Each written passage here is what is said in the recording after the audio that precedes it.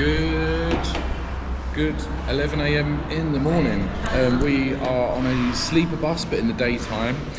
We're going to Dong Hoi, which is a central town. It's eight hours all the way there. It costs 600. Um, 600 dong, which is about 20 quid. Really quality coach, proper proper chuffed of it. Eight hours on that, and I'll show you in a bit, but it's spot on. We're getting central now, so it's wet season now. So come from the north into the central, wet season. Dong Hoi first, our transfer going to Phong Nha Ke Bang National Park. Um, this is where all the massive caves are. You've got the Son Doong Cave, uh, which was rediscovered in 2009 by a British expedition. Uh, local farmer showed them where it is, biggest cave in the world. Uh, can't go in there because it's five grand to get in.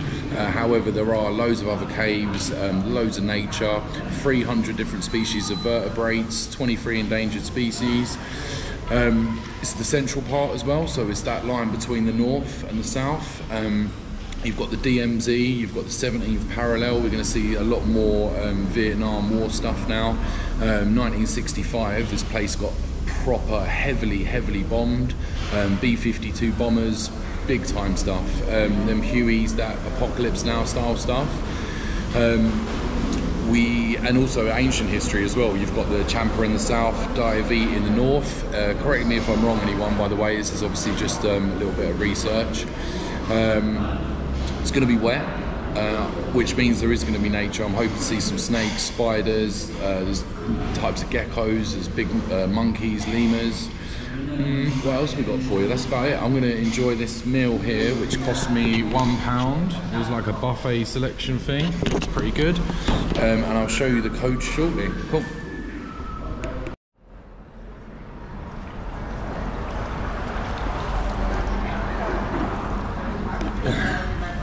Um, yeah, here's our bus.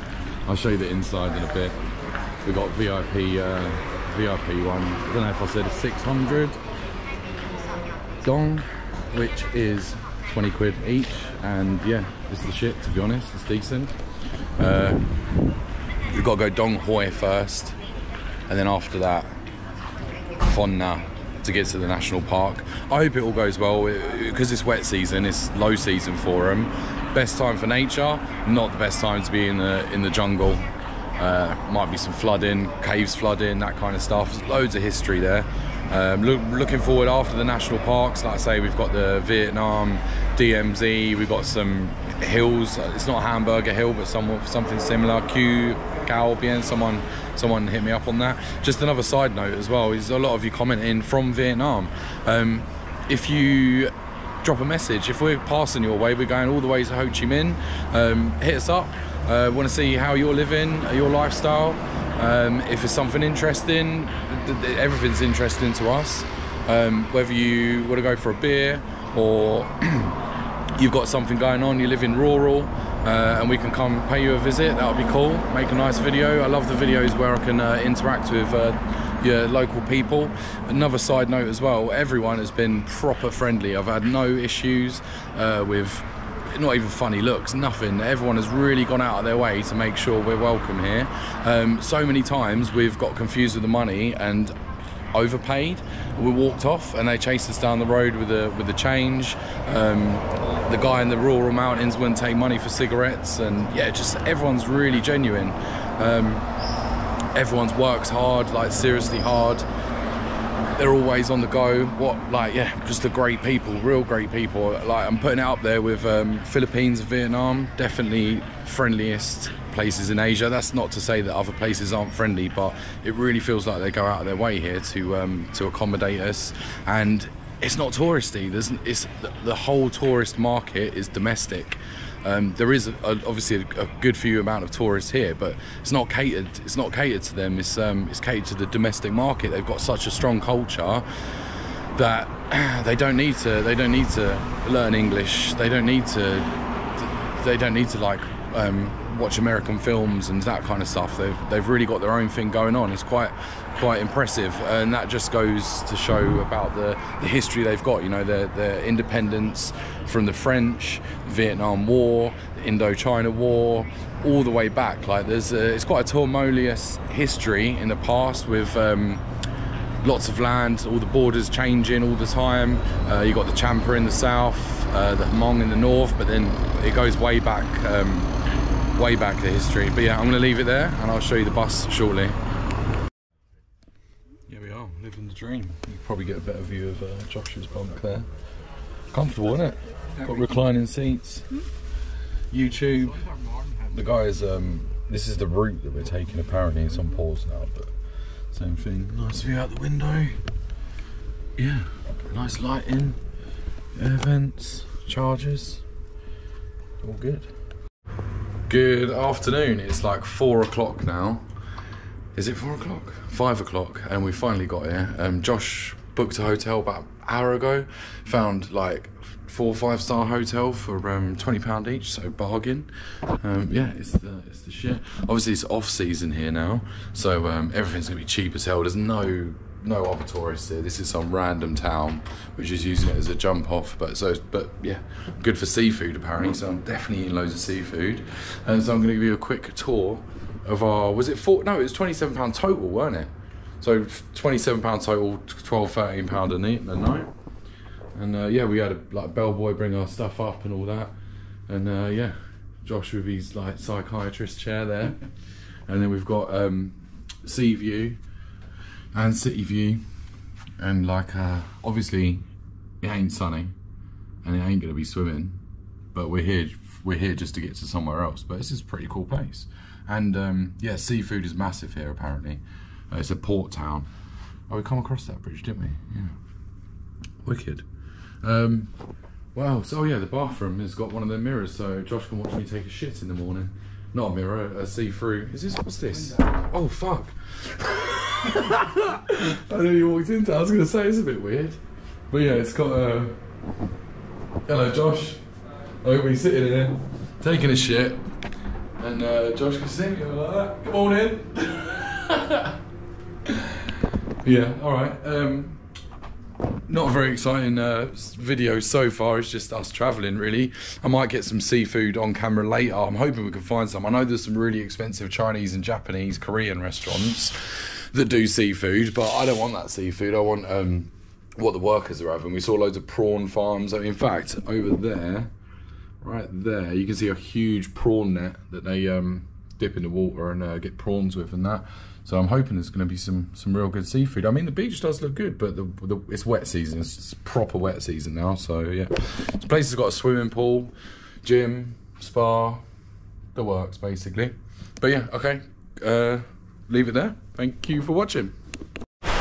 Here we are down at Clacton Beach. Uh, I mean Dong Hoi Beach. uh, yeah, it's just it's nearly night time now. We thought we'd have a little. Um, that's our hotel there, the big one. Um, yeah, like I say, it's uh, wet season now, the, and this is a river as well, so I wouldn't really want to. You're not allowed to swim this bit anyway, loads of signs up.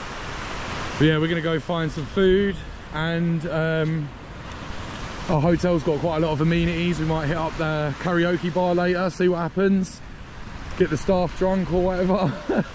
yeah, it's actually quite a cool little uh, city so far, but I'm gonna say that because we've got a really cheap hotel. It's a good, uh, good start to the uh, thingy. I'm gonna go see what the fishermen are catching, and then uh, then we'll go find some street food. We've come to a. Um, I don't want to shout too loud because people in it. We've come to a uh, seafood restaurant, like a snail restaurant, and. Um, it'll come out one dish at a time basically because uh, that's how it goes. But yeah first one we've got uh, razor clams in like chili garlic and um, chili garlic and ginger. Yeah, I mean you get these at home so that's what it kind of looks like. This one looks almost like a bit of a schlong. Thank you mm. Honestly, 10 out of 10. That is so good. That is tasty. Josh, you gonna try one on the camera? Absolutely not. No? Not on camera. Josh's got some bread. He'd be good with bread. The sauce is banging, but I'm gonna keep coming back because um, we've got four dishes to try. Okay, next one's come out, and they, they give us rolls of it as well. But um, the rolls are so good, we munched it. These are, I believe they're called hair snails, and they're cooked in coconut chili, uh, and I would say some lime leaf in there as well. Tastes like green curry, basically. Uh, yeah, let's tell you how these are. Really good. That that last one, oh, they, they've they've definitely got a stronger flavour. This one though was amazing. This is Josh's little selection here. I'm leaving for him till he braves up. yeah, these these are tasty. That was amazing. That one. Okay, here's the next one. We've got scallops with looks like dried, maybe some kind of dried fish. No, dried onion. Or and then I don't know what the sauce is on there. I don't have a clue. What is it? Oh, is it? Yeah, it is. Yeah. All right, I'm gonna try this one. It's got like peanuts on it. Oh, and then we've got more come as well.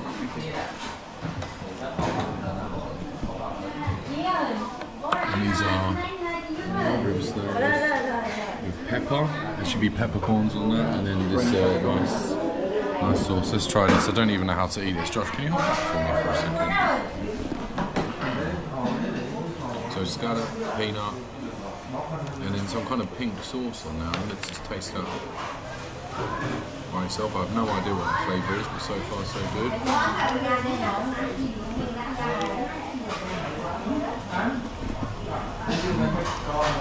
That was good. It's really good. It's really, it's got quite a sweetness to it, to be honest. And then actually carry on now. while we're here. I'll uh, try one of these. So these are big. These are massive. Scoop it out. Oh, it's really hot. It should be in pepper, I believe. I ordered it in pepper. Oh my god, it's so hot. They're steamed, I would say.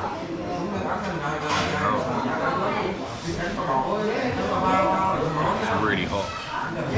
You go. And then it's bit slimy. Then this is the sauce, which I'm guessing is the uh, lime, chili, coriander sauce.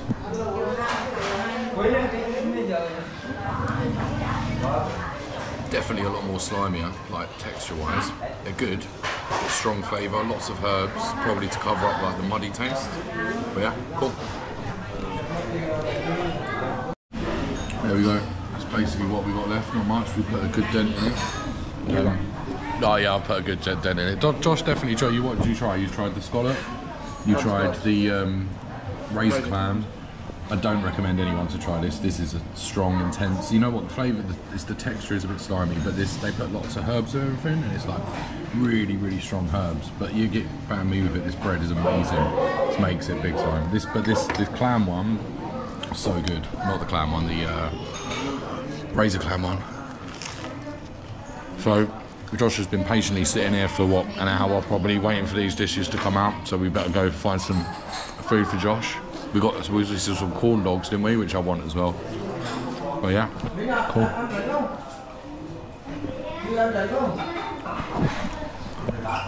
Um, so we just uh, left that restaurant and we're walking back to the hotel, which is a good probably what three miles, isn't it? we can get a taxi if you want, Josh. It's about 10p. Um, a wedding going on there tomorrow. Uh, yeah, that restaurant was sick. That was really good. We've every we've been in about six restaurants, I reckon. No, probably No, 10. 12. 12 you reckon yeah along along our three mile cruise before we found that one um that, uh, there was all they all look good they all um some of them only done coffees and snacks and whatever and then all the menus were not in english which is quite a rare sight to see so i had to get google translate on them all even that last one was google translate um and google translate works with the picture of, of the menu but um only in normal writing when you try when, it, when it's trying to translate food dishes uh, it struggles a little bit. It comes up with some weird, weird names. That um, first dish we had in there though was so good, so good. The uh, clams and the chili and that. But yeah, we're going to um, walk back, have a shower, get sorted. Um, there doesn't seem to be any bars around here and that, but there's a big karaoke bar at our hotel, which has probably got no nobody in it. It's really quiet. It's low season. Um, and then yeah about it really so yeah not much of a video today um, tomorrow in morning we got to speak to the hotel we need to head to Phong Nha which is where the caves are and loads of different stuff going on there we're probably not going to stay overnight in the jungle uh, depending we might just um, tour the caves I don't know if that's possible um, like just one by one kind of thing. I think they kind of drop you off there, half hour walk, and then then you're in a cave. They got these seafood places as well. Let me get a quick video of this, all this stuff. Oh, oh wow, last floor.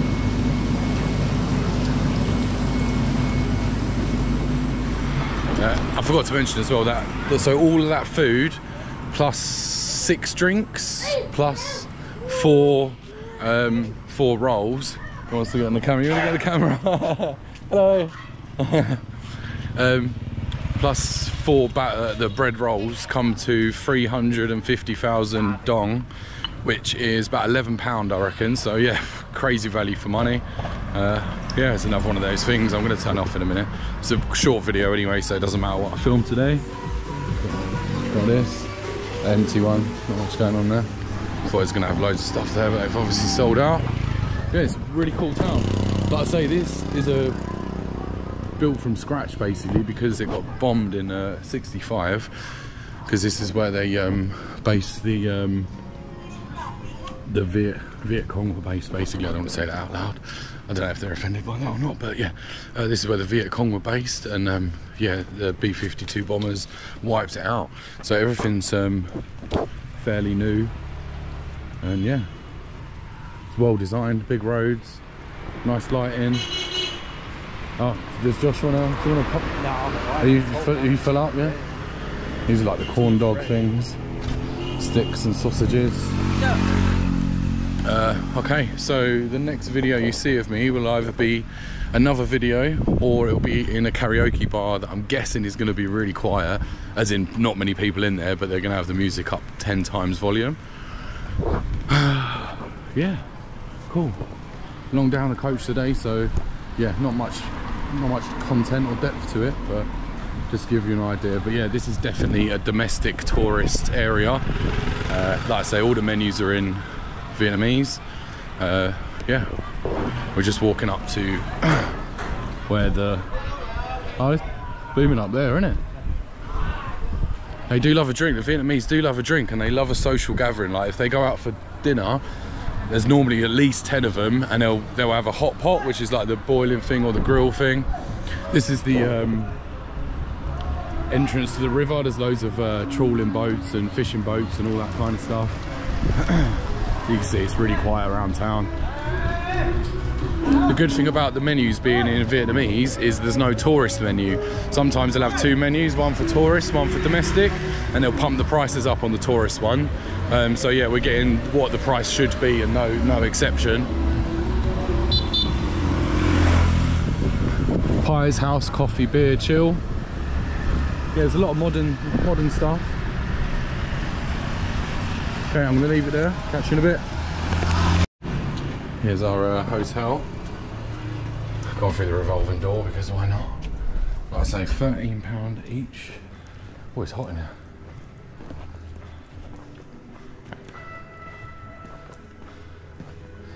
Ding, ding, ding, ding, ding. Is the um is the bar open upstairs or is the the bar Only yeah. only through here? Only. Oh, this little bar here. Yeah, no worries. Yeah, no bar. Just that little one, which is foyer one. Okay, well that's a little bit, a little bit sad. That's where we got breakfast tomorrow. That's what that was a big breakfast. Yeah, this includes breakfast as well. So thirteen pound each with breakfast. There you go. La, la, la. That was what we thought we was going to have. Karaoke bar, but fitness centre, not today. Yeah.